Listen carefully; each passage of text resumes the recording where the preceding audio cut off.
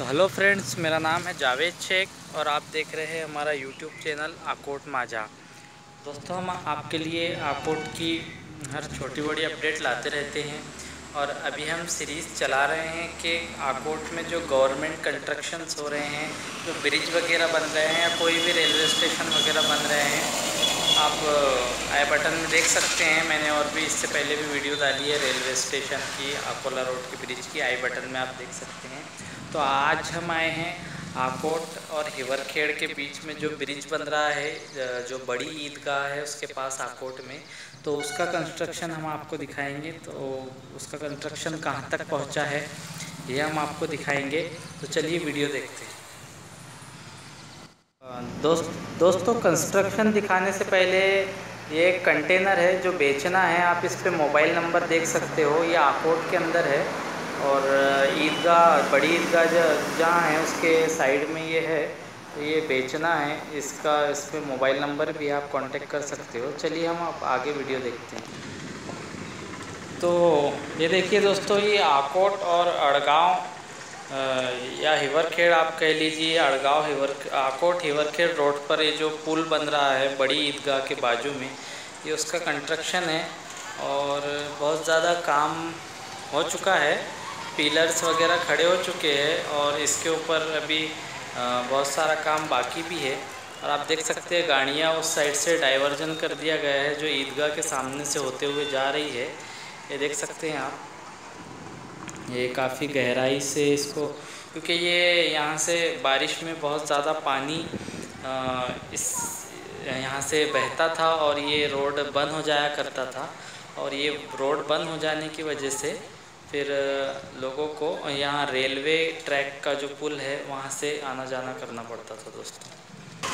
तो देखिए दोस्तों, ये पुल बनने की वजह से गाड़ियों को इस तरफ़ से डाइवर्ज किया गया है और इधर ईदगाह के सामने से जो एक पुल है, वहाँ से सारी गाड़ियाँ आना जाना कर रही है फ़िलहाल।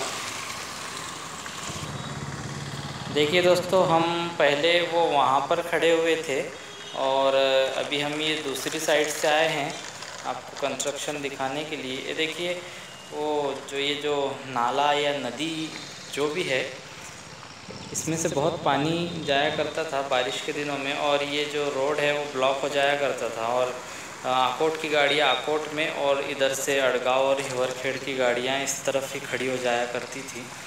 तो इसको देखते हुए ये पुल काफ़ी ऊँचा बनाया गया है। अब फ्यूचर में ऐसी कोई दिक्कत नहीं आएगी। तो देखिए, इधर वाटर सप्लाई ऑफ़िस भी है यहाँ पर साइड में तो वहाँ से उसका भी पानी हमेशा शुरू रहता है जो फ़िल्टर वगैरह करते हैं और ये उसका लोहा, ब्रिज का, इसका कंस्ट्रक्शन का सामान रखा हुआ है।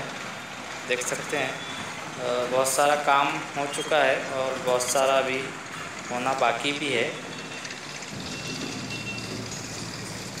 ये देखिए, आप देख सकते हैं। हम जूम करके आपको बता रहे हैं। काफ़ी ऊँचे ऊँचे बनाए गए हैं ये ब्रिज, काफ़ी ऊँचा काम किया जा रहा है इसका। ये देखिए।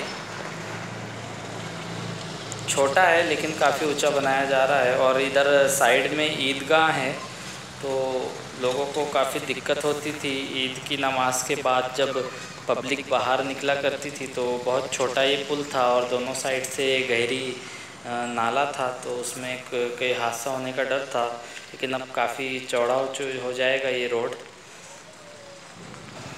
देखिए दोस्तों, इधर ये वाटर सप्लाई ऑफ़िस है यहाँ पर। और यहाँ से इसका फ़िल्टर वगैरह का पानी भी इधर आता रहता है। और ये इनका कंस्ट्रक्शन का